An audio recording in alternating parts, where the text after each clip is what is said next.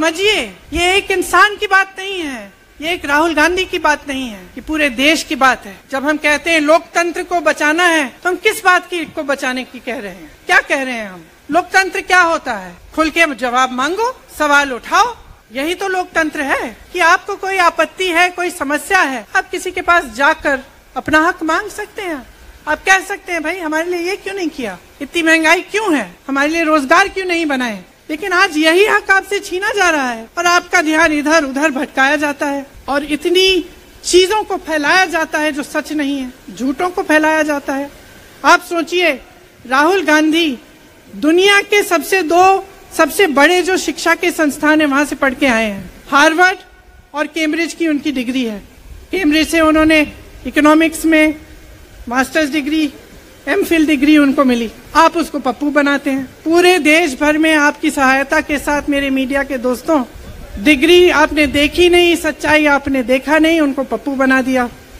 फिर पता चला कि ये पप्पू तो यात्रा में निकल आया, और पता चला कि ये तो पप्पू है ही नहीं।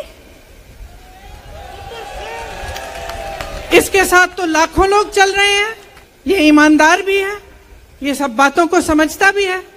ये जनता के बीच जा रहा है। जनता की समस्याओं को सुन रहा है तो जनता इसके साथ चली जा रही है। तो घबरा गए। घबरा गए कि राहुल गांधी ने संसद में वो सवाल उठाए जिनका उसके, उनके पास जवाब नहीं है। क्या किया सुन लीजिए। एक तरफ़ से हँसी भी आती है कि एक आदमी को रोकने के लिए इतना सारा करना पड़ा।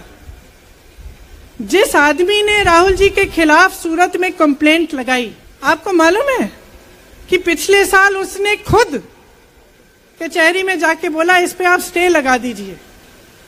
एक साल के लिए अपने ही केस पे स्टे लगवाया। फिर वापस कब गए केस खुलवाने के लिए? राहुल गांधी के संसद में अडानी पे के भाषण देने के एक हफ़्ते बाद एक हफ़्ते बाद वो आदमी वापस जाता है, कहता है, केस खोल दी, सुन लीजिए अब, हम तैयार हैं। एक महीने के अंदर अंदर जज कह देते हैं कि राहुल गांधी को दो साल की सजा मिलेगी। आपने देखा इस देश में कितने केस हैं कि जेल में दसों साल के लिए पड़े रहते हैं, उनकी सुनवाई नहीं होती। ये तो सुनवाई भी फट से हो गई जजमेंट भी फट से हो गई, सजा भी फट से हो गई। और आपने कह दिया अगले दिन कि आठ सालों के लिए ये चुनाव नहीं लड़ सकते। संसद से बाहर कर देंगे इनको। वाह वाह। वाह वाह। वाह वाह। बहुत धैर्य है आप में। अरे, कायर हैं। कायर है इस देश का प्रधानमंत्री। लगा दो केस मुझ पर। लगा दो केस मुझ पर।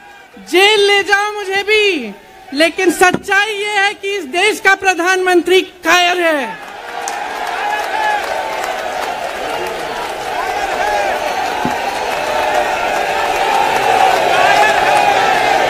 अपनी सत्ता के पीछे छुपा हुआ है। अहंकारी है।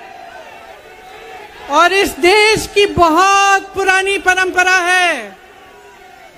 इस देश की बहुत पर पुरानी परंपरा है। हिंदू धर्म की पुरानी परंपरा है कि अहंकारी राजा को जनता जवाब देती है।